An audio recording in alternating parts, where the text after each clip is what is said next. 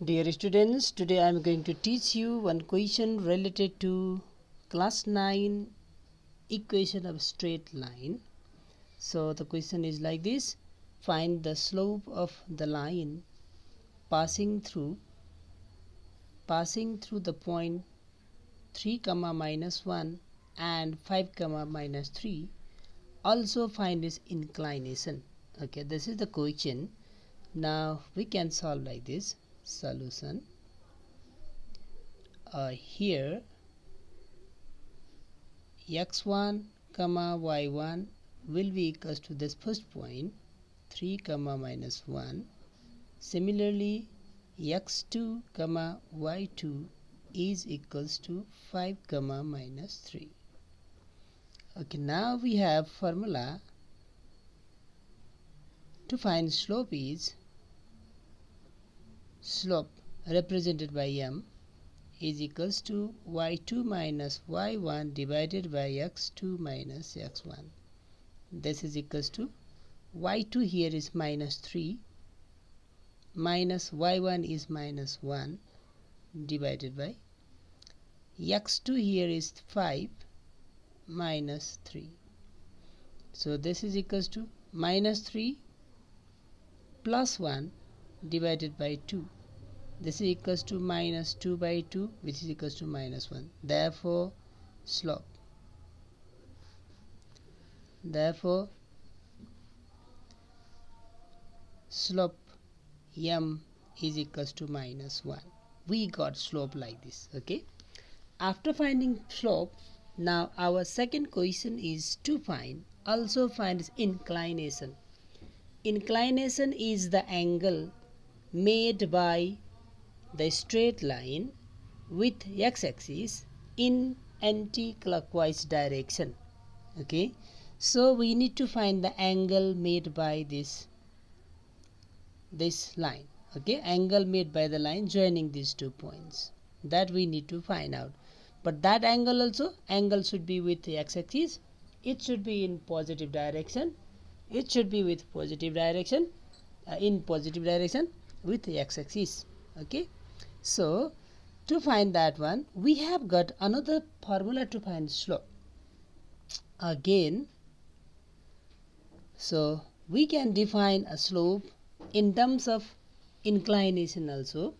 So in terms of inclination slope is given by slope m is given by tan theta so what we can write here, m is minus 1 is equals to tan theta we can write. Okay. Okay, minus 1 means minus as it is we can keep and this 1 is tan 45 degree is equal to tan theta we can write.